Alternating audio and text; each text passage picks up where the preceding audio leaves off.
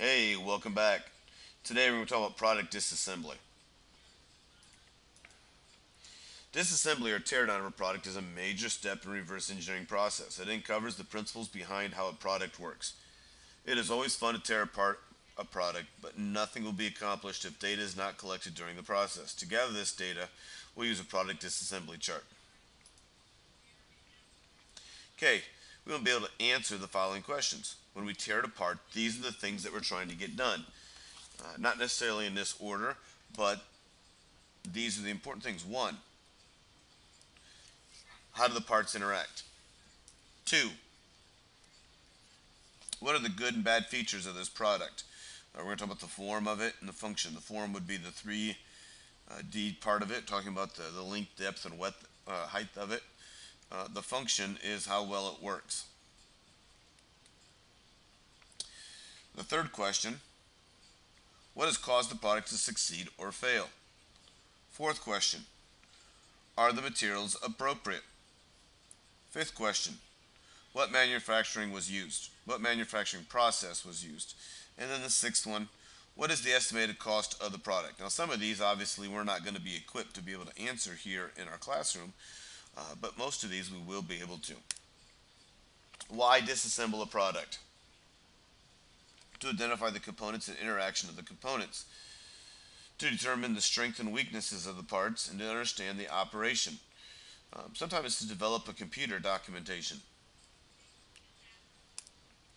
Initial product selection.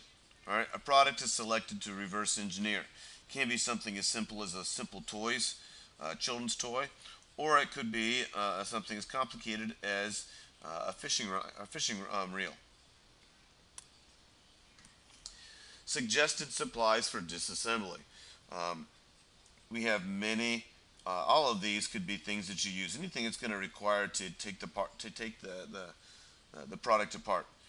Uh, we do not destructively disassemble an Automoblox vehicle. I want to make sure I go over that here. Um, we are not going to disassemble it any more than what we have already prior uh, to this in class. Product disassembly and documentation procedure. Um, we're going to disassemble the product, create pictorial sketches to describe the operation, Carefully observe and measure each part. Record your findings on the product disassembly chart. Create an annotated sketch of each part. Compare your hypothesis for operation to the actual operation of the part. Create 3D solid models for each part and document your findings. So these right here are the steps that we'll be going through uh, as we do um, the structural analysis. And that's what we're really talking about here then uh, is the structural analysis as we start to find out all of these things for these parts. Product disassembly chart. All right, notice on here, uh, part number. Uh, you can simply just name number in part 1, 2, 3, 4, and so forth.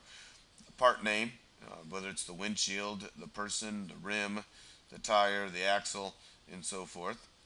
Uh, product name would be Automoblox. You put today's date and the time. Group members. Um, the material, uh, I'm actually going to give you a chart that you can fill in the material. Uh, you can find the density on there as well. Uh, you'll find the mass. Uh, you'll have to go up and weigh it uh, on the scale. Texture and finish. Uh, is it smooth? Is it clear? is it rough? Is it hard? not really hard, but is it rough? Is it opaque, meaning you can't see through it? Uh, interaction with other parts. You know, what is it? What is it, other parts does it interact with? For example, you're not going to say that the windshield interacts with the rim because the windshield and the rim don't interact with each other. Um, general notes, i.e., uh, do you see anything on here that says that maybe this part is is under stress, meaning it's starting to wear? Uh, does it look like it's getting ready to crack? Um, things like that. Uh, do you see chips? Uh, what type of um, things do you find that are bad about that? Answer the following question. How do the parts interact?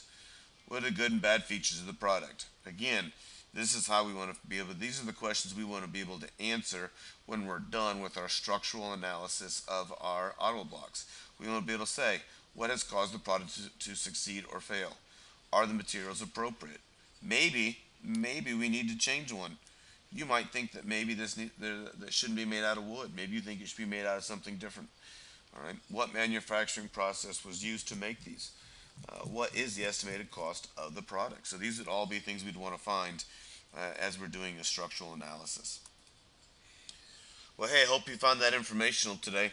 I'll catch you on the flip side.